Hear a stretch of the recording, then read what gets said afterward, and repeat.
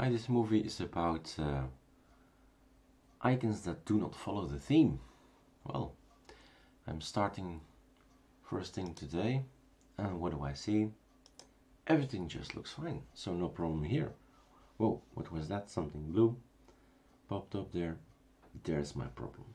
So, when you install applications, some of those applications do not follow the rule. So this is a Sardi monologue, as you can see, it really stands out and it breaks your theme. First let's analyze it, then let's fix it.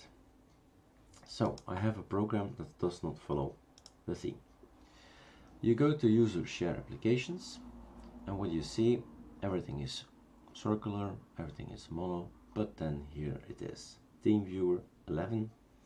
Just click on it, then right mouse click it and open it with I advise you to use Sublime Text as it can also change and write things on the protected parts. What am I going to change? Well, if you open it, this is what I mean with a hard-coded element. So it's going to a directory, opt, TeamViewer, dvbin, desktop, and it's going to get this icon, TeamViewer PNG. So it's the thing we're looking at. What was it here? This icon is coming from a part but it's not a Sardi icon. So it's a part of your hard disk that is somewhere on the op drive. So if you go to the file system you'll have an op drive and it, it's coming from here. Fine but not fine. So how to fix this?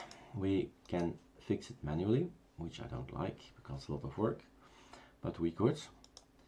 And that's simply by deleting all these lines.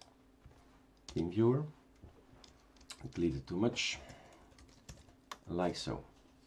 No extensions, and then Linux will know, oh, okay, I have to figure out if there is a team viewer icon, and yes, Sardi icons do have a team viewer icon, so that will work. But if there are five, six, seven, eight icons that are not working, then it's more interesting to do it another way then it's more interesting to go to the Ultimate Linux Mint 18 XFCE and we have the small code, hard code fixer version 1. It's easier and let's hope it works. It depends on whether uh, it has been reported on the Foggalong website uh, but then if it's reported it just works out of the box. So let's try it. Hardcode fixer version 1 we run it he's going to clone the code from internet. He's going to ask to install curl. If that was installed he's going on. And he wants to go to the protected part where we are where we were. So let's go and go back. So this blue one is the one we have to keep in mind. I'm gonna say this is my password. Not sure if I typed it already. Yep I did. So enter the blue one. Let's keep track of it there you go, fixing TeamViewer. So no work to be done manually. And what did happen? Well, the same that what we wanted to do. We wanted to name it TeamViewer. Well, so that's what happens. He is now looking at the icons of the thing you chose. Whatever icon you chose is going to look in a folder.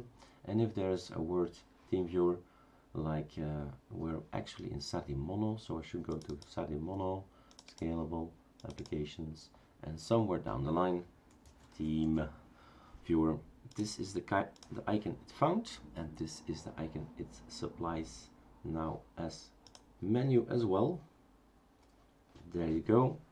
You can start the thing and put it at the top in your plank and you have a beautiful non-broken element and variety has given me another wallpaper again. So alt T is a shortcut I've made to trash things I don't like.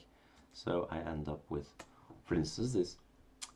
So that's the movie about uh, changing the icons if icons are not following and hard-coded icons how to get rid of it. Manually you can do it and you can do it via script